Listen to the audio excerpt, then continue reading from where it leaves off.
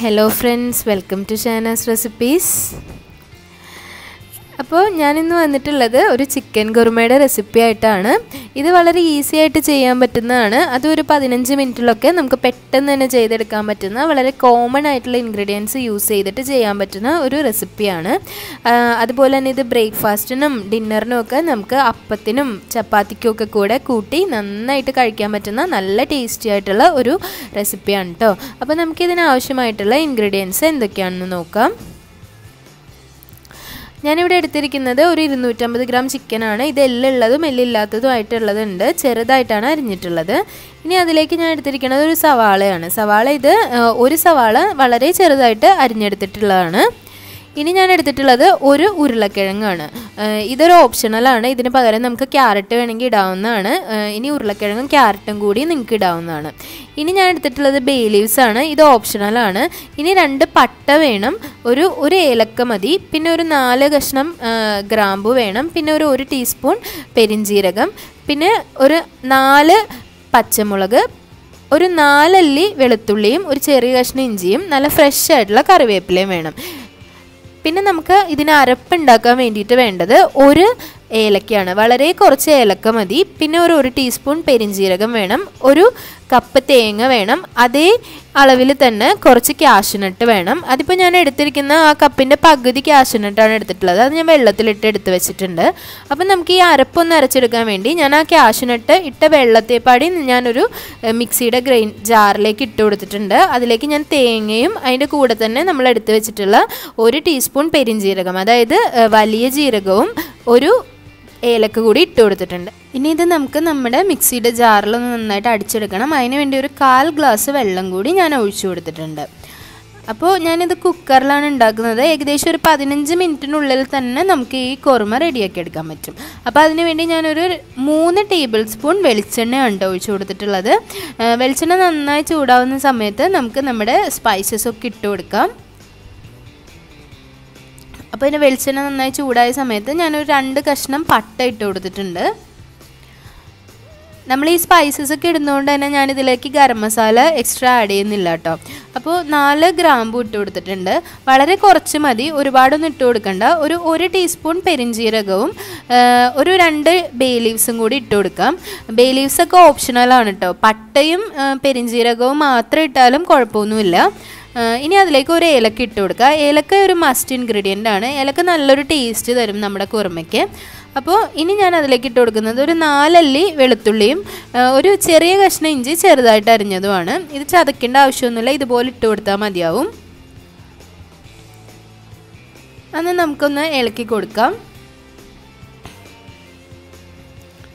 ഇതിപ്പോൾ ഏതാണ്ട് ഇതിന്റെ പച്ചമണമൊക്കെ ഒന്ന് പോയി ഒന്ന് മൂത്ത മണം വരുന്ന സമയത്ത് നമുക്ക് അതിലേക്ക് ഒരു കുറച്ച് പച്ചമുളക്. അതായത് ഏകദേശം ഒരു അഞ്ച് പച്ചമുളക് ഇട്ട് കൊടുത്തിട്ടുണ്ട്. കാരണം എരിവിന് വേണ്ടി വേറെ ഒന്നും നമ്മൾ ആഡ് ചെയ്യുന്നില്ല. പച്ചമുളകും കുരുമുളക് പൊടിയാണ് ആഡ് ചെയ്യണത്.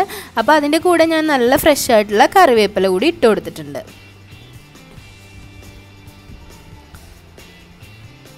നമ്മൾ മുളക് പൊടി ഇടാത്തതുകൊണ്ട് തന്നെ എരിവിന് വേണ്ടിയിട്ട് നമ്മൾ പച്ചമുളകാണ്. അപ്പോൾ ഓരോരുത്തരുടെ എരിവിനനുസരിച്ച് അത് എടുക്കുക.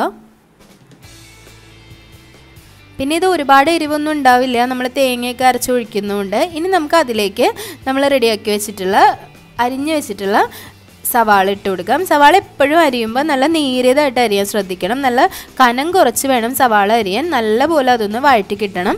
അതിനുവേണ്ടി നമുക്ക് കുറച്ച് ഉപ്പ് കൂടി അതിലേക്ക് ആഡ് ചെയ്ത് കൊടുക്കാം. അപ്പോൾ ഉപ്പ് കൂടി ഇടുമ്പോഴത്തേക്കും പെട്ടെന്ന് തന്നെ ഒന്ന് വഴണ്ട് കിട്ടും.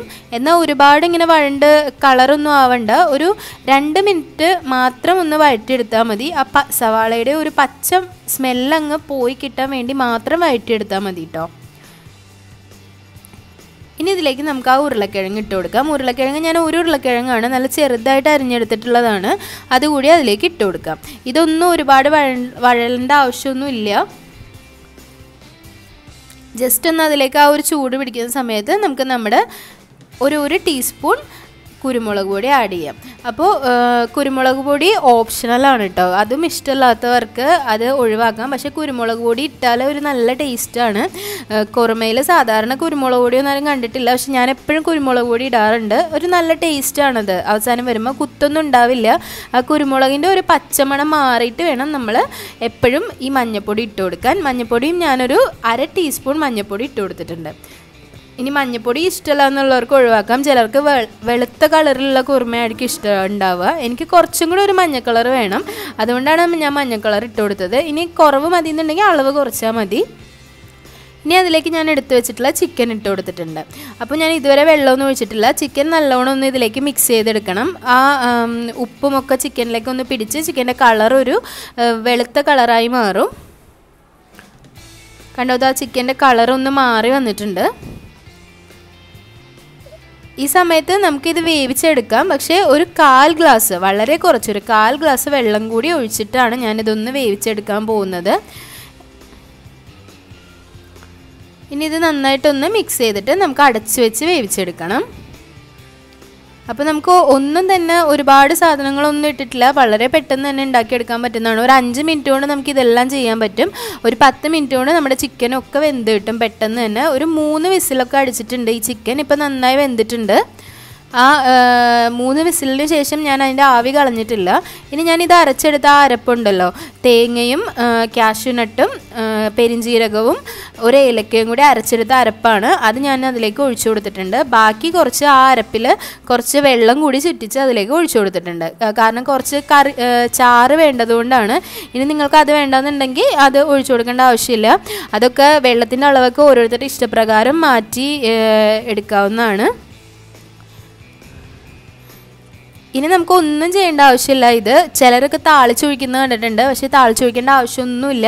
നല്ലപോലെ ഒന്ന് തിളപ്പിച്ചെടുത്താൽ മതി. തിളപ്പിച്ചെടുക്കുമ്പോൾ തന്നെ അതിന്റെ ആ ഒരു പച്ച സ്മെല്ലൊന്നും ഉണ്ടാവില്ല. നല്ല ടേസ്റ്റാണ് കേട്ടോ അപ്പോൾ ഇത് ഞാൻ നല്ല ടേസ്റ്റിൽ റെഡിയാക്കി എടുത്തിട്ടുണ്ട്. വളരെ എളുപ്പമാണ്. ഒരു പതിനഞ്ച് മിനിറ്റിലൊക്കെ നമുക്കൊരു നോൺ വെജ് കറി വേണമെന്നുണ്ടെങ്കിൽ വളരെ പെട്ടെന്ന് തന്നെ. സ്പൈസി അല്ലാത്ത കുട്ടികൾക്കൊക്കെ നമുക്ക് കൊടുക്കാൻ പറ്റുന്ന നല്ല ടേസ്റ്റി ആയിട്ടുള്ള ഒരു കുറുമക്കറിയാണിത്.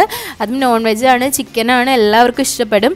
ഇതുപോലെ തന്നെ ഈ റെസിപ്പി തന്നെ ഉപയോഗിച്ച് നമുക്ക് മട്ടനും വെക്കാം കേട്ടോ. നല്ല ടേസ്റ്റാണ് മട്ടനായാലും നമുക്ക് ഇതേ റെസിപ്പി തന്നെ ഫോളോ ചെയ്ത് വെക്കാൻ പറ്റും. നല്ല ടേസ്റ്റാണ് കേട്ടോ അപ്പോൾ അപ്പത്തിനും ചപ്പാത്തിക്കൊക്കെ കൂട്ടി കഴിക്കാൻ പറ്റുന്ന നല്ലൊരു റെസിപ്പിയാണിത് അപ്പോൾ നിങ്ങൾ ആദ്യമായിട്ടാണ് എന്റെ ചാനൽ കാണുന്നതെങ്കിൽ എന്റെ ചാനൽ സബ്സ്ക്രൈബ് ചെയ്യാനും ലൈക്ക് ചെയ്യാനും ഷെയർ ചെയ്യാനൊന്നും മറക്കരുത്. അതുപോലെ തന്നെ എല്ലാവരും ഈ വീഡിയോസ് കാണണം. എല്ലാവരും ട്രൈ ചെയ്ത് നോക്കണം. അഭിപ്രായങ്ങളൊക്കെ എന്നെ അറിയിക്കണം. അപ്പോൾ എല്ലാവർക്കും ഈ വീഡിയോ ഇഷ്ടമായെന്ന് ഞാൻ വിചാരിക്കുകയാണ്. Thank you.